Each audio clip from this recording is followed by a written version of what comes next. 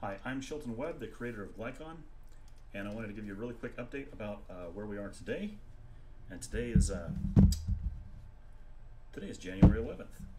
Uh, we have now support for Valve Knuckles, and we're going to be fleshing that out in the next uh, next few days.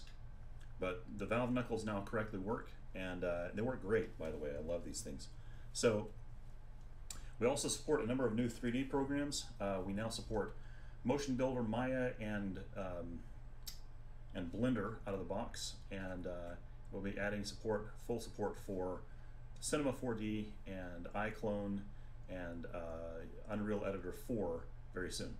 So this is a motion capture platform. Basically, the way it works is this: you see what I've got on here. I've got my hand controllers and my headset, and that's all it takes.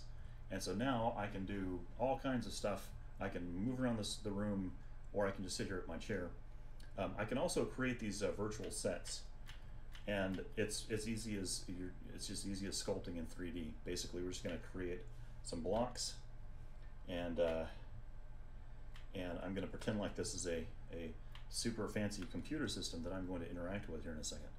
And then I switch over here to, uh, so I, I could switch, if I wanted to, I could switch to seated mode, and then um, sit down basically, and, uh, and, and, you know, like I'm sitting down. Or I can stand up. Uh, I'm going to go to movable, and and that's basically it. Okay, so now I'm going to hop into live mode. I'm to move just a little bit, update my standing position. Okay, so I want to move this just a little bit. I'm going to put something over here. And imagine that you're doing this uh, in traditional motion capture and you wanted to match the real world up with your motion capture perfectly. That's actually kind of a daunting task. And here it's it's as easy as well. It's fully automated. So we'll hop into li uh, to live mode, and now I'm going to record my animation. All I have to do is pull the trigger, and doot doot doot doot uh, doot doot, and then bonk bonk and that's it, right? Okay, so now I did my recording, and uh, oh yeah, I'm done. So I can hop back in here, I can export this set, and I can export the recording.